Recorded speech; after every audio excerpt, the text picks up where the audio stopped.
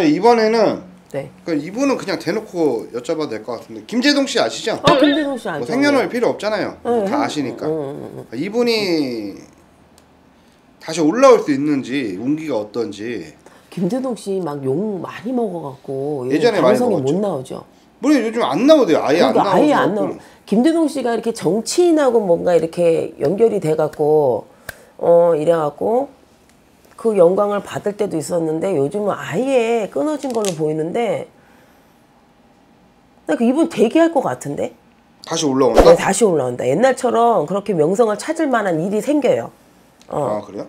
그 와이프 아내를 만나든지 하여튼 누군가의 다시 귀인이 생겨. 누군가를 만남으로 해서 그게 아내인지 누군지는 아 모르겠지만 이거 결혼해요? 네, 해요. 언제 해요? 내, 눈, 결혼? 내 눈에는 결혼을 하면서 이슈가 돼서 그, 그러니까 그 와이프, 어, 아내가 보이는데?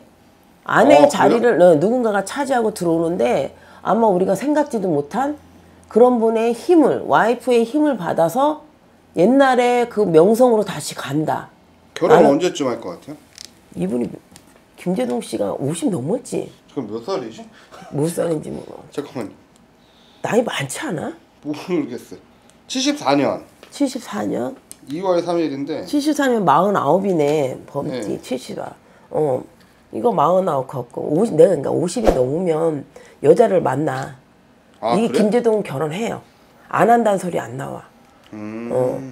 근데 어쩌면 이분이 어? 워낙 말을 재주 있게 잘하다 보니 입으로 흥했다 입으로 망한 케이스 그 케이스인데 그거를 빗 뒷받침해줄 사람을 분명히 만나요. 귀인. 그게 귀인이 아내로 떠. 아, 그러니까 어, 여자를 잘 만나서 그래서 아마 크게 옛날처럼 다시 그 길을 영광을 다시 차지한다. 그렇게 보입니다.